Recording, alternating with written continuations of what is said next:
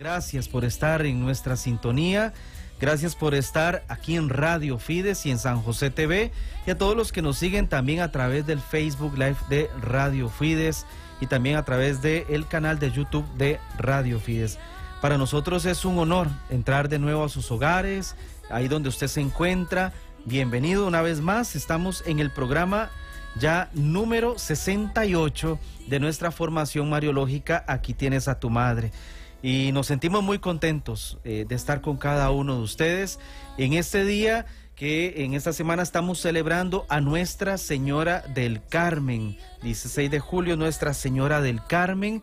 Eh, esta vocación mariana tan querida para nosotros, para el pueblo costarricense y tantas comunidades que llevan el patrocinio de la Virgen María del Monte Carmelo.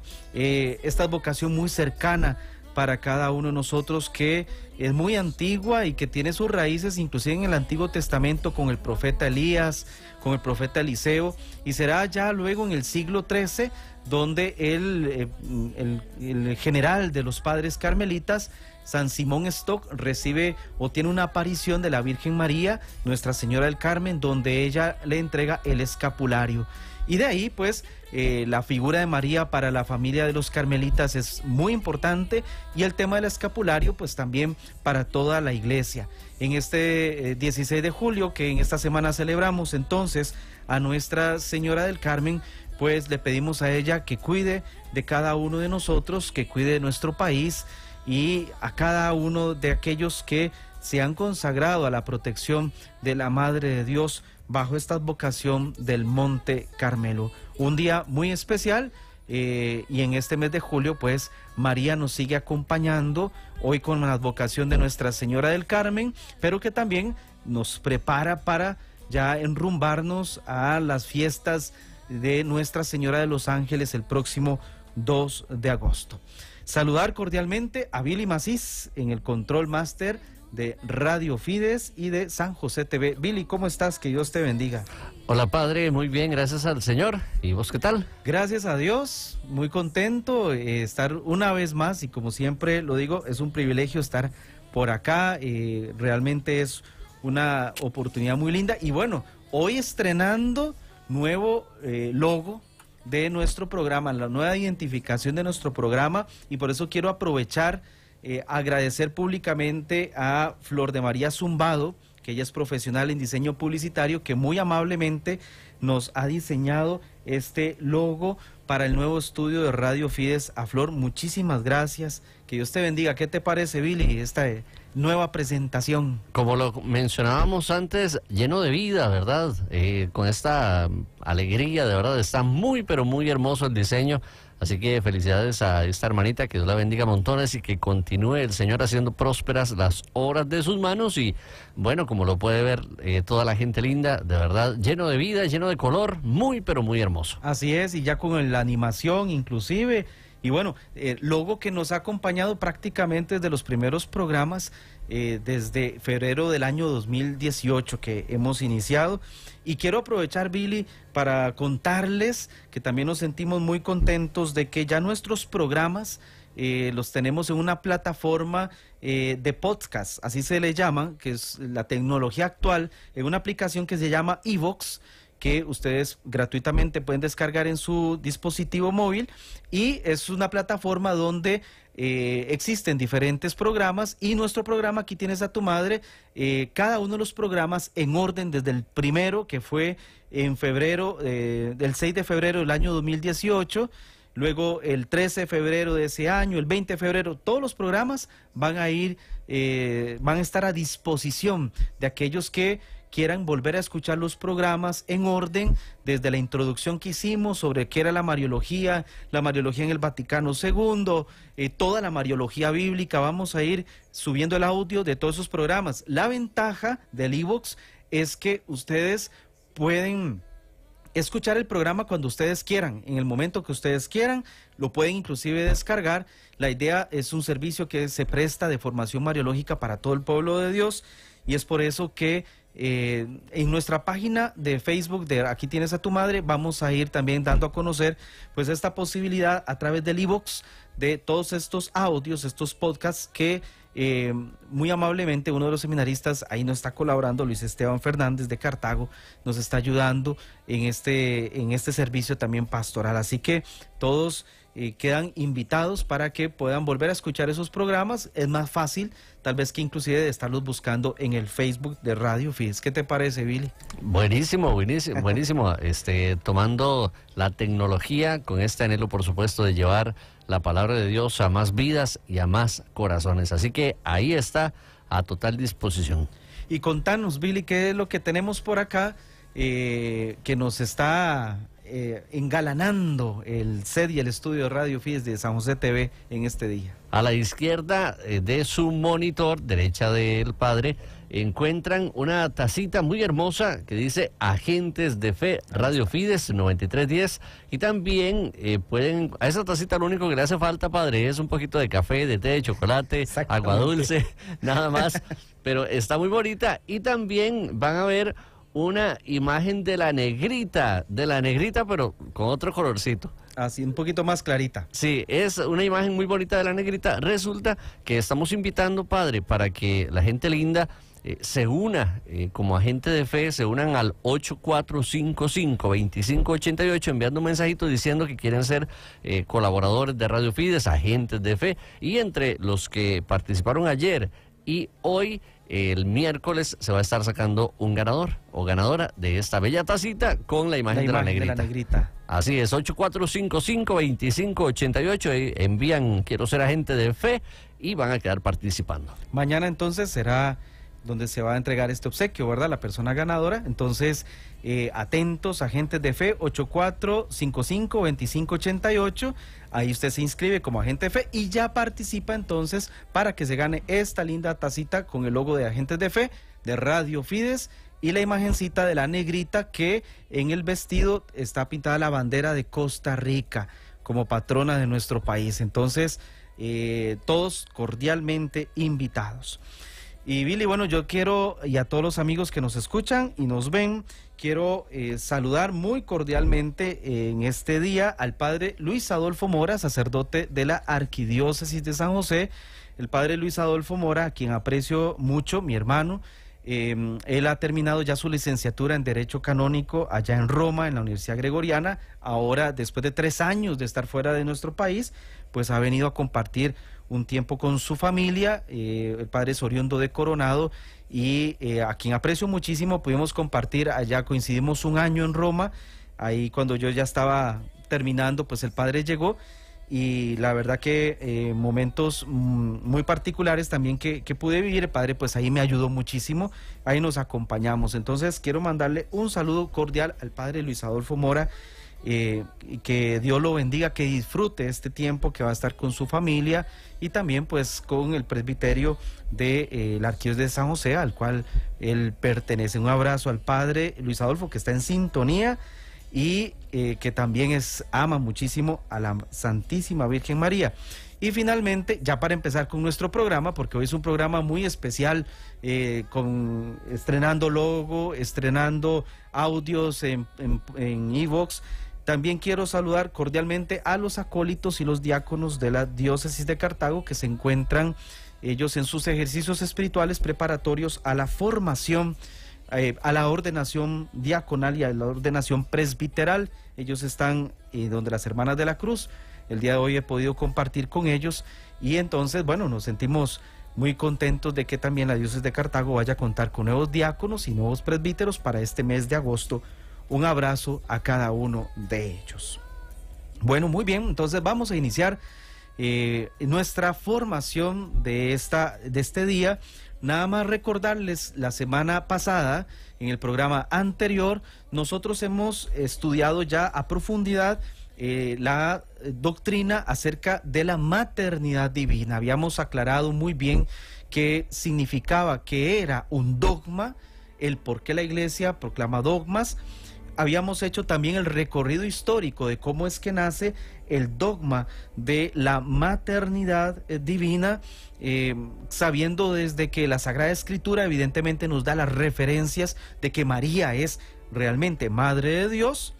Sin embargo, eh, explicábamos cómo en los primeros años de la iglesia, igual algunos textos bíblicos nos hacen referencia de cómo aparecieron algunas controversias, algunas situaciones que a nivel eh, doctrinal no estaban correctos. Hablábamos, ¿se acuerdan ustedes de los gnósticos que rechazaban la materia y que no podían concebir cómo Dios asumiera eh, la naturaleza humana? Hablábamos de los docetas, hablando de que ellos pensaban que Jesús tenía un cuerpo aparente, que era imposible eh, cómo el mismo Hijo de Dios asumiera la realidad humana. El mismo Pablo en Colosenses, 2.8, en, eh, el mismo San Juan en el, Evangelio, capítulo 1, versículo 14, etcétera, textos que ya nos hacían referencia de que los primeros años de la iglesia habían esas dificultades. Y hablábamos entonces cómo a lo largo del tiempo fueron apareciendo testimonios muy antiguos de la maternidad divina, del dogma de la maternidad divina o de la doctrina de María como Madre de Dios. Hablábamos, por ejemplo, de la, de la aparición de aquella oración que hemos rezado ahora al inicio de nuestro programa, el Bajo Tamparo, siglo III, siglo IV en Egipto, donde se menciona que realmente María es Madre de Dios. Hablábamos del primer padre de la iglesia que utiliza la palabra Teotocos, que es San Alejandro, es Alejandro de Alejandría del año 320, Teotocos, Madre de Dios hablábamos de los primeros concilios hasta llegar al concilio de Éfeso del 431, donde gracias a San Cirilo de eh, Alejandría, eh, cuando aclara a Nestorio eh, sus errores, que diciendo que a María no se le puede llamar Teotocos porque ella Dios no puede tener madre, San Cirilo de Alejandría le explica muy bien en su segunda carta del año 430 la doctrina de que realmente María es Madre de Dios porque nosotros no podemos desligar las dos naturalezas del Hijo de Dios, es naturaleza humana y naturaleza divina en la persona del Hijo, no se puede desligar, no se puede separar y por lo tanto quien ha revestido de carne y sangre al mismo Dios es la Virgen María a la cual con toda certeza nosotros podemos llamar Teotocos, Madre de Dios. Es por eso que el concilio de Éfeso del 431 resuelve una situación no tanto mariológica, sino cristológica, lo decíamos en el programa pasado.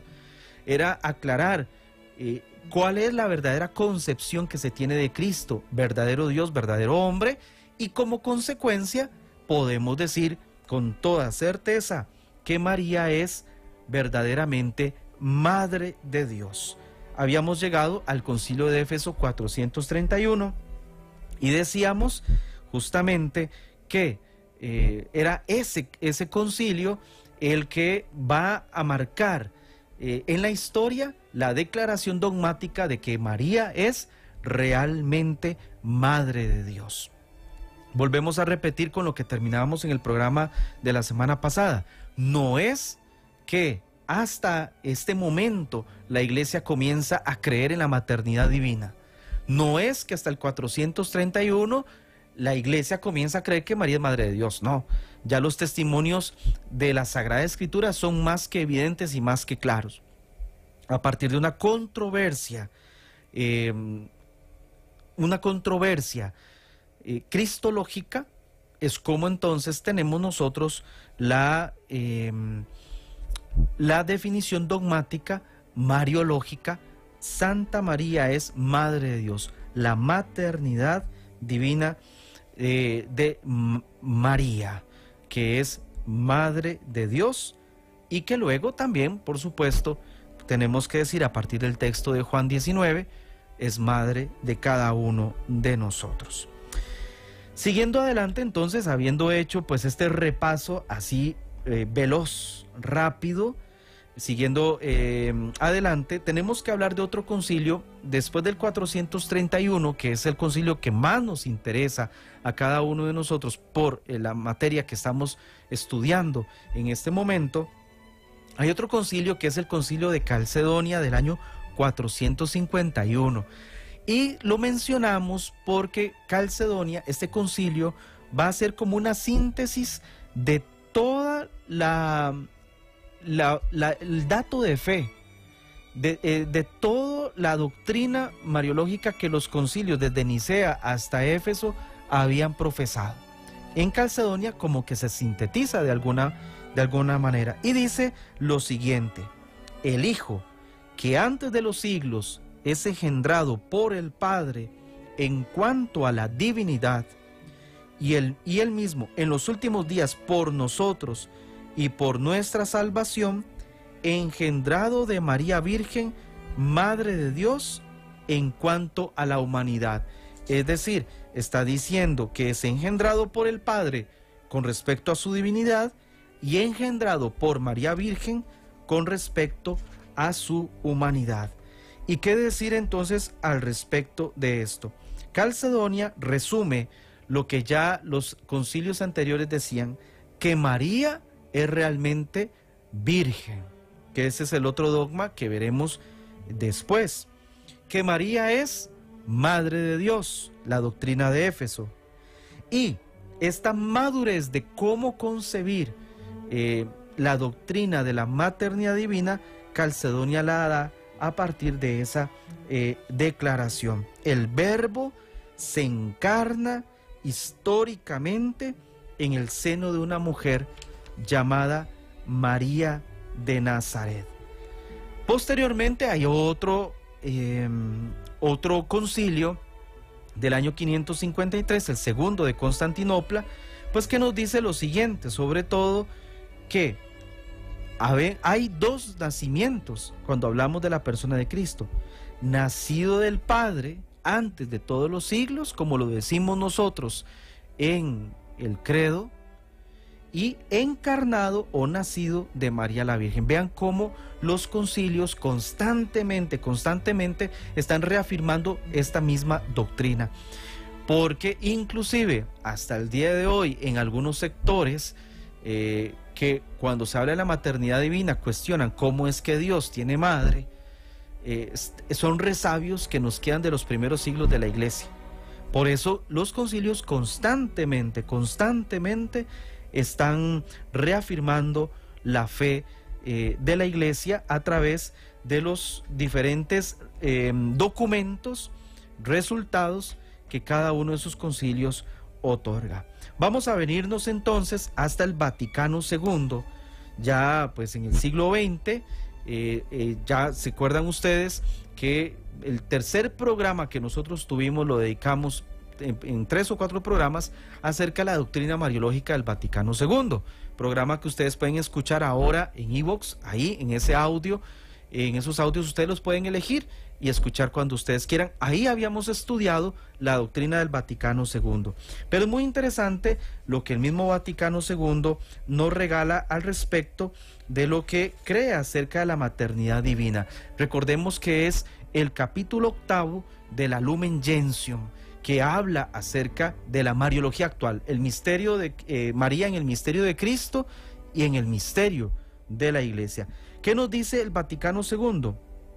con respecto a la mm, maternidad divina. Primero, comienza diciendo que es San Ambrosio, este gran santo, San Ambrosio de Milán, que compara o que eh, nos pone a María como tipo de la iglesia, como modelo de la iglesia, por todo lo que de alguna manera eh, María nos ayuda a comprender, nos ayuda a entender cómo nosotros como miembros de la iglesia debemos responder a la voluntad del Señor. María es tipo de la iglesia. La iglesia es madre por la acogida creyente del verbo divino y ella da a luz a su Hijo concebido por el Espíritu Santo mediante la predicación del Evangelio y del bautismo. Dice la Lumen Gentium 63, ella es virgen, pues mantiene la promesa dada a su esposo divino, conservando intacta la fe, sólida la, esperanza y sincera la caridad. El mismo Vaticano II, a partir del dogma de la maternidad divina, comienza a poner a María como un tipo, como modelo de la iglesia. La Virgen es madre, la iglesia es madre. María es virgen, la iglesia es virgen. Lumen Gentium 63 y Lumen Gentium 64. Y de esto tenemos eh, que ser muy claros. La doctrina actual de la Mariología nos, o, más bien, la Mariología actual que con el Vaticano II se renovó a partir de la Lumen Gentium, nos, nos coloca a la, a la Virgen María, por supuesto, como la Madre de Dios, pero como aquella que a lo interno de la iglesia cuida a cada uno de los discípulos de su Hijo. Y esto entonces, queridos hermanos, eh, es muy importante. Al, profundizar en el misterio de María como Madre de Dios, profundizamos en el misterio también de la iglesia, porque aquella que es madre de, de, la iglesia es el modelo para toda la iglesia, que también es madre, es modelo para toda la iglesia, que también es virgen, porque mantiene intacta la fe, sólida la esperanza y sincera la caridad, sincera la caridad. Y por eso eh, eh, Vaticano II tiene muy clara esta doctrina que em, desde la Lumen Gentium en su capítulo octavo eh, nos regala. Ahora, vamos a pasar a aspectos sistemáticos, o sea, elementos muy puntuales que nosotros podemos comentar a partir del dogma de la maternidad divina.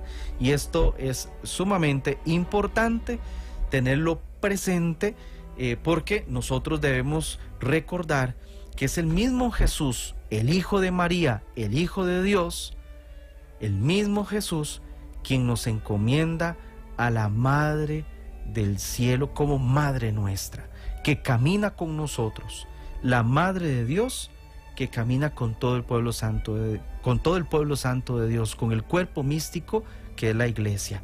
Por eso, a mis queridos amigos acólitos y diáconos de la diócesis de Cartago, que sé que están, eh, han hecho ahí su reporte también. Eh, ahora que ustedes asumen esta nueva misión a través del ministerio de eh, el diaconado y del presbiterado, queridos amigos, asumir a María como la compañera de camino que siempre, siempre los va a llevar a Jesús. Por eso un abrazo cordial a Álvaro, a José Rodolfo y a Urbano, que ellos se están preparando para su diaconado. Aspectos importantes a tener en cuenta que podríamos nosotros, eh, a partir de em, el dogma de la maternidad divina, tener muy, muy presente.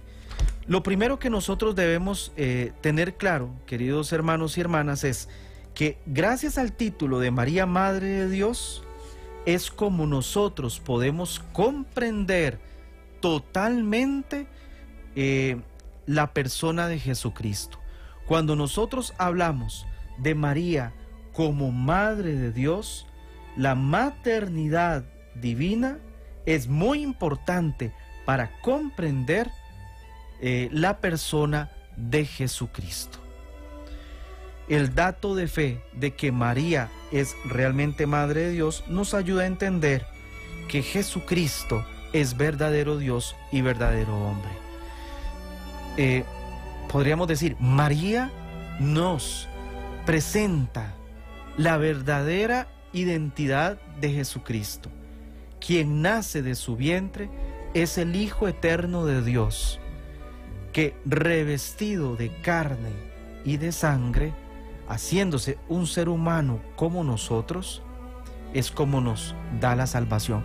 Por eso, por eso podríamos decir con toda claridad, con toda certeza, que María nos ha traído la salvación. Por supuesto que sí, en el sentido de que es aquella que nos ha traído a Jesús, quien nos presenta a Jesús. María nos enseña y nos ayuda a entender quién es Jesucristo. En la Teotocos, o sea, en la Madre de Dios, está la unidad del Hijo de Dios que se ha encarnado. ¿Quién es Jesucristo? Veamos a la Madre de Dios. ¿Quién es el Señor que nos ha salvado? Veamos a la Madre de Dios. Aquella que nos ha traído al mismo Dios hecho hombre. Segundo punto que podríamos desligar del de, eh, dogma de la maternidad eh, divina. La maternidad divina se remonta al plan eterno de Dios. Y aquí es donde nosotros hablamos acerca del tema de la predestinación, que en el catecismo de la Iglesia Católica, en los numerales 488 y 489, se habla acerca de la predestinación en la Virgen María. Y lo primero que debemos decir que la predestinación no es que ya Dios previamente había tomado la decisión de quitar la libertad a María de responder ante el plan que se le ofrece. No se refiere a eso. Predestinados, todos nosotros estamos predestinados en el amor de Dios, a ser amados por Dios. Hemos sido creados para ser amados por Dios. En el caso de María, ha sido predestinada desde la eternidad como Madre de Dios.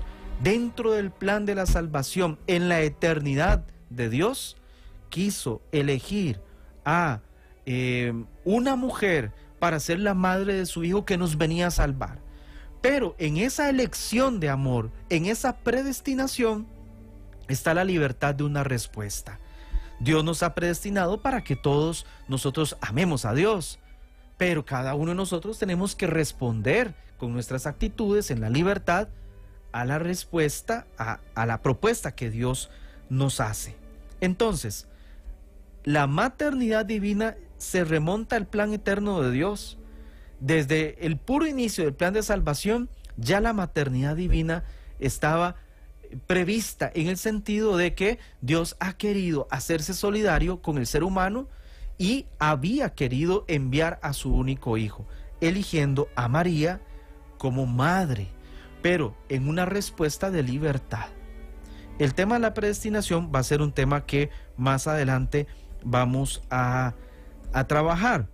Sin embargo, importante simplemente decir, Dios ha querido enviar a su Hijo porque ha querido también contar dentro del plan de la salvación con la cooperación del ser humano. Y dentro de los eh, colaboradores más íntimos del plan de la salvación, encontramos, por supuesto, a María, que está unida, como lo dice el mismo Vaticano II, a, eh, con un lazo indisoluble eh, con un lazo indisoluble a la obra de salvación de su Hijo. Tercero, importante, otro detalle que podríamos decir acerca de la maternidad divina. La maternidad divina de María fue preparada por la santidad de María. O sea, ya aquí estaríamos hablando del otro dogma que más adelante estudiaremos en esta sección dogmática en la que nos encontramos, que sería acerca de la Inmaculada Concepción. María fue preservada del pecado original con vistas a la encarnación. Con vistas a la encarnación. María preservada fue redimida de una forma eh, anticipada por su Hijo Jesucristo cuando María fue concebida en el vientre de su madre Santa Ana. María en su Inmaculada Concepción, con vistas o en previsión de que María iba a ser la Madre de Dios. En María el pecado no toca su vida el mal no toca la vida de María, preservada del pecado original, porque ella iba a ser madre de Dios. Entonces, cuando hablamos del dogma de la maternidad divina, también inmediatamente hay referencia con respecto al dogma de la Inmaculada Concepción. Dogma que hablaremos en nuestros programas más adelante. Hay otro punto muy importante que desligamos del dogma de la maternidad divina, que es la maternidad divina lleva consigo una relación transformante. ¿A qué, qué significa esto? Significa que el Espíritu Santo que descendió sobre María, según como nos lo dice el mismo evangelista Lucas, em, evoca de alguna manera la creación, lo que en Génesis 1, 2 leemos. Y la presencia de Dios en el arca de la alianza, en Éxodo 40:34. Con la encarnación ocurrida en la anunciación, María llega a un nuevo grado de pureza y de asimilación a Dios algo como el último paso al crisol de un metal ya puro que se encuentra ahora en su máximo esplendor. La acción del Espíritu en María es una acción o es una relación que transforma la vida de María. La maternidad, la acción del Espíritu en María, es, eso implica una relación que transforma la vida de María, en la divinidad que toca la humanidad, transforma la vida de la persona. O sea, la maternidad divina implica una acción transformante en la persona de María. En la plenitud de los tiempos, cuando el Espíritu eh, fecunda el seno profundísimo de María y el Hijo se encarna en su vientre por voluntad del Padre, aquí hay un antes y un después en la historia de la salvación. Lo que Gálatas 4, 4, 5 nos dice, en la plenitud de los tiempos envió Dios a su único Hijo, nacido de una mujer. Otro punto muy importante, número 5, con la maternidad divina, María asume un papel activo en la obra de la salvación. Dios ha querido la cooperación del ser humano, Dios ha querido la cooperación del ser humano para que el, el plan de la salvación se llevara a cabo. Dios ha querido asumir condición humana para salvarnos y para esto quiso la cooperación del ser humano. El sí de María, el hágase de María, tiene una cualidad salvífica hecha posible por la gracia de Cristo desde el inicio de la vida de la Santísima Virgen. María es, eh, tiene un papel fundamental, principal en la obra de la salvación. Nosotros no podemos decir que María solamente o exclusivamente la encontramos en la devoción o en la piedad popular, que es una parte muy importante en la vida de la iglesia. No solamente ahí, ahí y en toda la espiritualidad cristiana, porque ha sido gracias al sí de María que ella, a partir del momento de su sí, asume un papel fundamental en la vida de la iglesia y en la historia de salvación. Dios ha querido poner su tienda en medio de nosotros y eso lo hace a partir de una mujer, María de Nazaret. Sexto punto, la maternidad divina es el, el inicio de la maternidad espiritual de María para la iglesia. La maternidad divina es el inicio de la maternidad espiritual de María para la iglesia. Aquí debemos entender de que María es la madre de Dios y cuando, cuando contemplamos a la iglesia como un cuerpo, entendemos que la cabeza de ese cuerpo se llama Jesucristo. Y el cuerpo de eh, la iglesia es el resto de los bautizados, el resto del pueblo de Dios. La cabeza es Cristo y el resto del cuerpo somos todos nosotros. Si María es la madre de Cristo, que es cabeza de la iglesia, María también asume una nueva misión que su propio Hijo Jesucristo le encomienda desde la cruz. Aquí tienes a tu Hijo. Aquí tienes a tu Hijo. El, capítulo 19 el versículo 25 y siguientes del Evangelio de San Juan. La maternidad divina implica luego ya una maternidad espiritual, o sea, es una maternidad universal que se extiende. Ya no solamente María es madre de Jesucristo, lo es, sino que por mandato de Jesucristo desde la cruz, como el logo de nuestro programa, que quiere graficar justamente ese momento, desde la cruz hay una nueva anunciación para María para que asuma en su vida al discípulo amado. El discípulo amado es quien cumple la voluntad de Dios, los mandamientos y los guarda. Todo aquel que cumple la voluntad de Dios y los guarda es el discípulo amado. En el discípulo amado encontramos nosotros eh, total y absolutamente la identidad de cada uno de nosotros. María se convierte por herencia eh, de parte de Cristo, por una nueva misión desde la cruz, en madre de todos los discípulos de su Hijo. Y esto también, queridos hermanos, es muy importante que lo tengamos presente. Decir que María es Madre de Dios, el dogma de la maternidad divina, luego la, teología y el estudio de la Sagrada Escritura nos va, nos va a ayudar a entender que también es esa maternidad implica una maternidad para cada uno de nosotros, que hemos sido adoptados también como hijos. Somos hijos en el Hijo gracias al bautismo. Por lo tanto, si María es madre de la cabeza de la iglesia, es madre del resto del cuerpo, que somos cada uno de nosotros. Por eso, decir madre de Dios tiene muchas facetas, tiene muchos elementos que en una formación mariológica como la que llevamos adelante debemos tener claro. Punto número 7 para ya ir eh, haciendo pues nuestro cierre de la formación de este, de este día. La maternidad divina exalta a María sobre las otras criaturas. Y esto tenemos que tenerlo, debemos tenerlo muy presente. Eh, dichosa me llamarán todas las generaciones, porque el poderoso ha estado grande conmigo. Su nombre es santo, el Magnificat.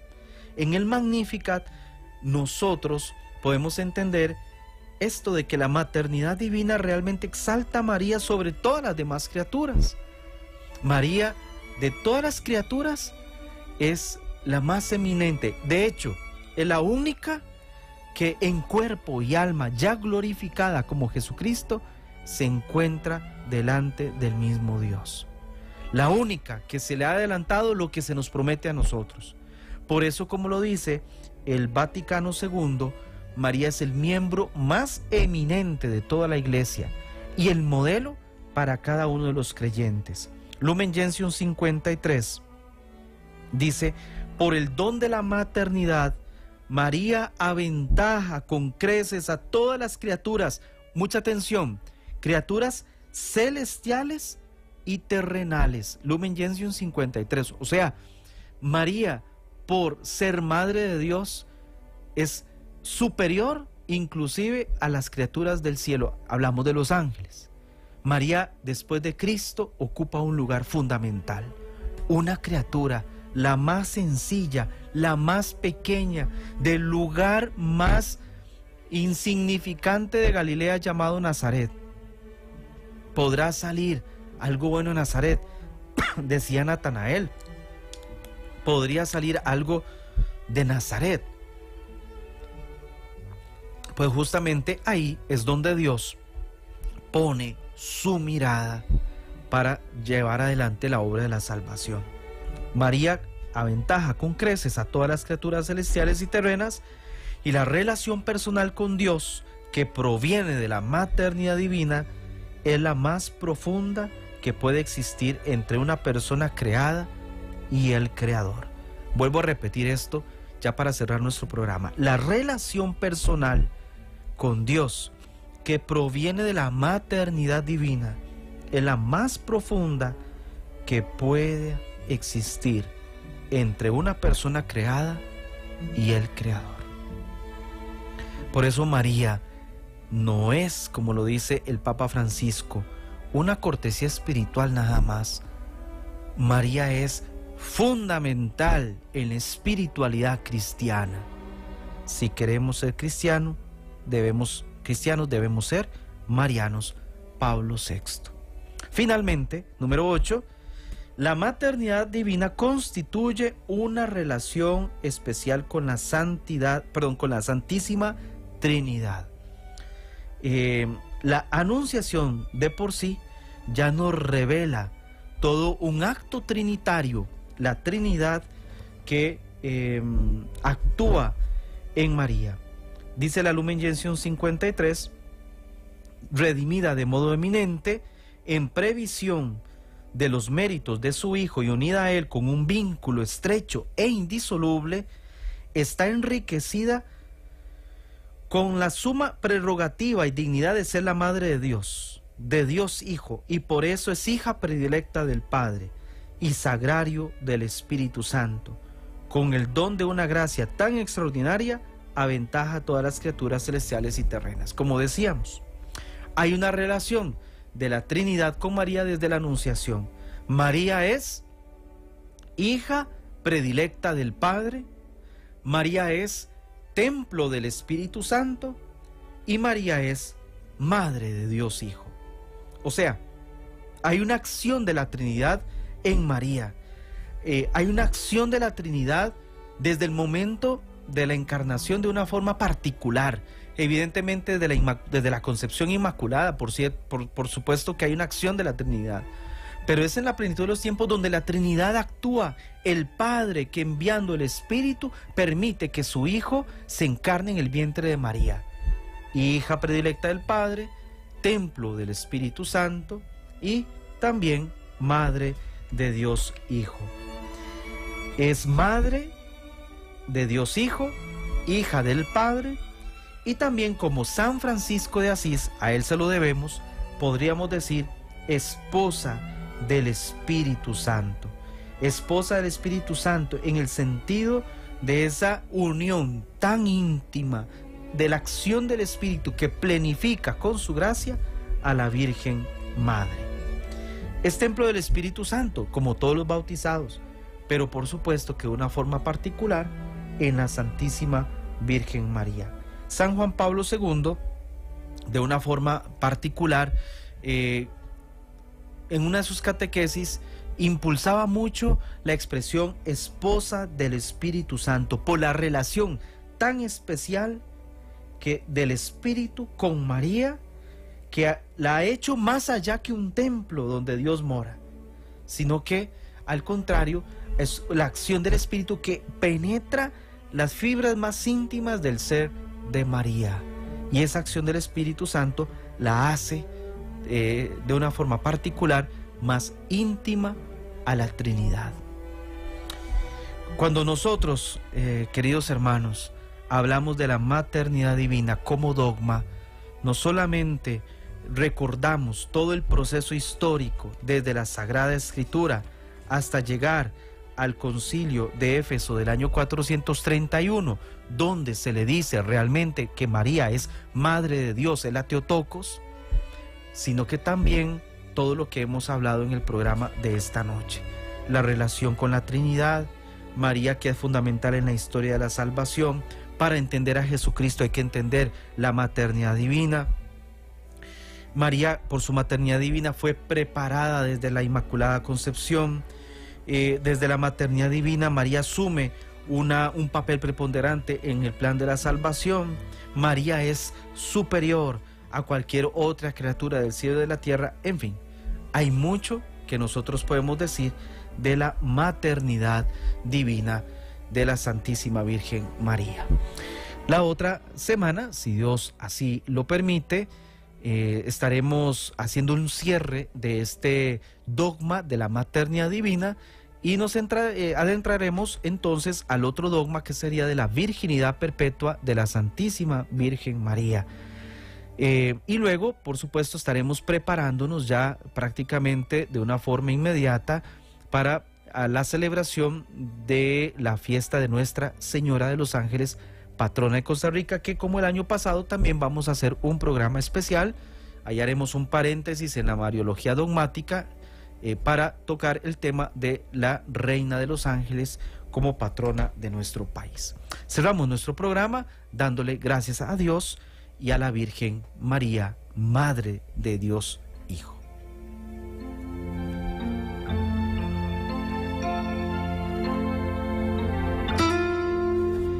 Queremos agradecerte, Señor, el don de la maternidad de la Virgen María, porque ella al decir que sí, al responder afirmativamente, nos ha abierto las puertas del cielo.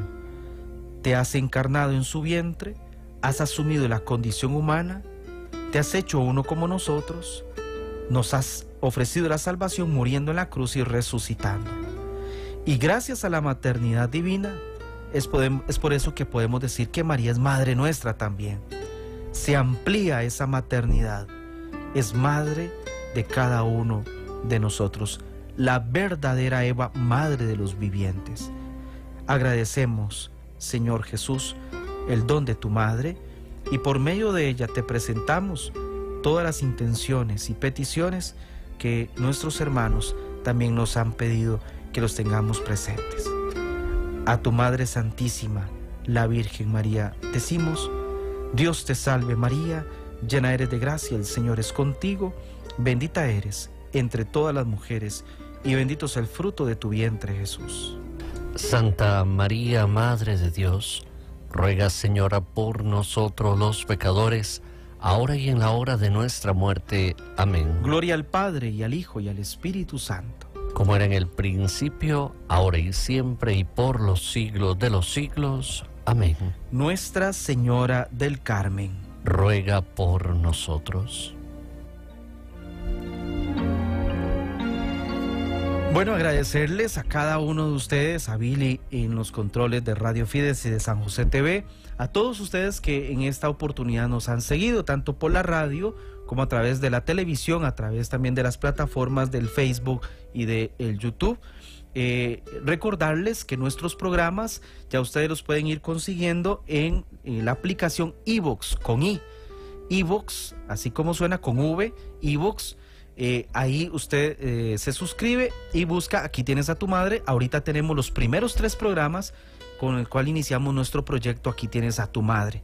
Ojalá que en el perfil de Facebook también de Aquí tienes a tu madre, ahí puedan ustedes revisar. Ahí tenemos toda la información para que usted pueda volver a escuchar cuando usted así lo desee los programas de la formación mariológica.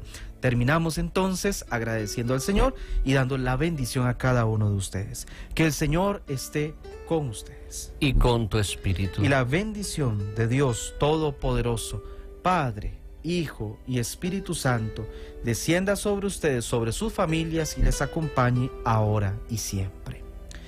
Y que la Virgen María esté en sus corazones. Siga con Radio Fides, con San José TV, que Dios les acompañe.